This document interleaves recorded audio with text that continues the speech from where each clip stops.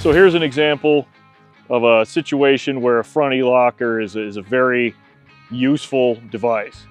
Uh, the trail has brought us in this direction. We need to turn, a sharp turn, and then immediately climb. So in order to negotiate the turn, uh, we want that locker disengaged.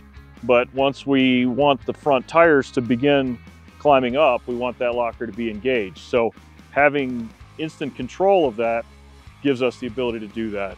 As we approach turn, our lockers are both disengaged so that we have maximum maneuverability and the best possible turning radius. As we get to the obstacle, we'll engage both rear and front e-lockers in order to help the front of the vehicle climb up the vertical face.